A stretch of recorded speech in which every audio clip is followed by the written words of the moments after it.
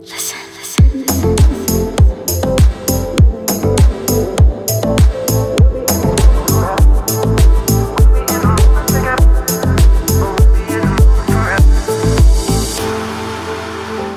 Hi, my name is Riyani Patel.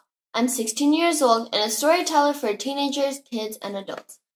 I am the author of two books raising awareness of Tourette syndrome and school bullying. I want to be an inspiration to kids of my own generation that are trying to cope with their own bullying experiences.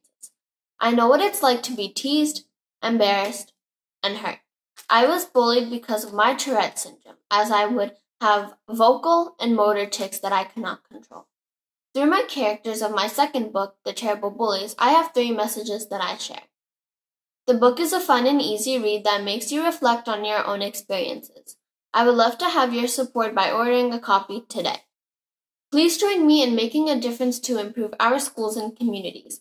Let's be more understanding of each other and lessen bullying together. Thank you all. Bye.